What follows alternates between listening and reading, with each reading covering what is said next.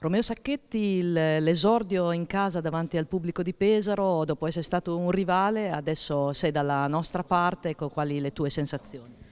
Beh, sicuramente è una piazza molto importante, l'ho provata sulla mia pelle di cosa è importante il pubblico di Coso, di, di Pesaro, sicuramente il coinvolgimento è una parte importante, però la parte importante deve essere data dalla squadra, la squadra deve dimostrare di giocare al, al, limite delle proprie possibilità e la gente di Pesaro penso che capisca questo.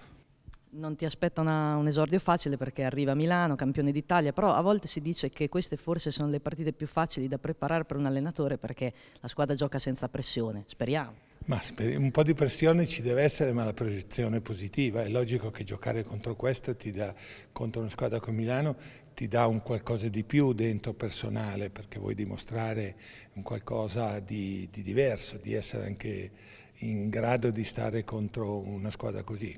È stimolante giocare contro questo. È difficile, è più difficile, però stimolante. Cioè, dire, ci sono dei giocatori che certe volte sentono questa partita in una maniera impressionante e quando ci sono delle partite che qualcuno snobba, portavo l'esempio l'altra volta di Trevis Diner, che quando si giocavano delle partite sulla carta facili lui scherzava e tutto e poi noi rischiavamo di perderle, però quando c'era l'impegno, l'impegno importante litigavo con lui perché non volevo uscire, perciò voglio dire, i giocatori tosti vogliono anche queste sfide.